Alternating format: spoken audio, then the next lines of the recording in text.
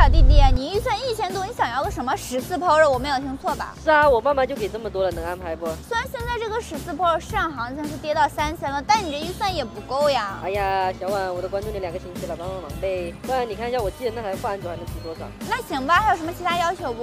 要成色好点的，紫色的，颜值越高越好嘛。